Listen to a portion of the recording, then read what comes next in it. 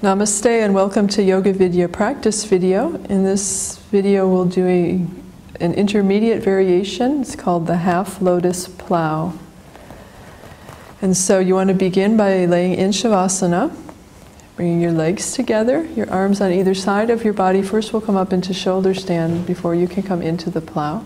So inhale, kick your feet up over your head, lift your hips, bring your hands behind your back, fingers towards the inside, thumbs towards the outside. And then to do the variation, what you want to do is bring one of your legs into the half lotus position. So you can bring your right foot in front of your left thigh. And then you'll exhale and drop your left leg over your head as far as you can.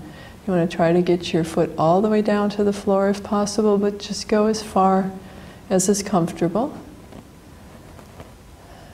Taking a few deep breaths.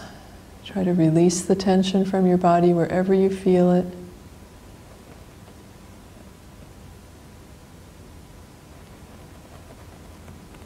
And inhaling back up, and we'll switch to the other side. So now the left foot will be in front of the right thigh.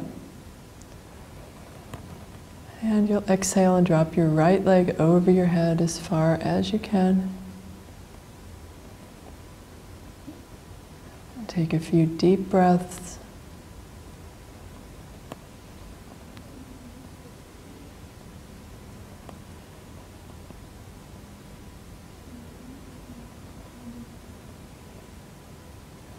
And inhaling back up.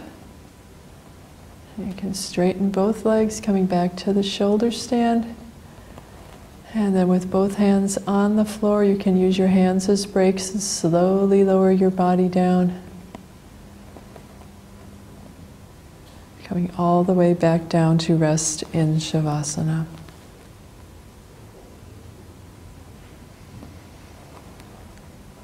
Thank you for joining us today. For more information on English yoga classes and seminars and all topics related to yoga, please see www.yogavidya.org/english or my.yoga-vidya.org. Namaste.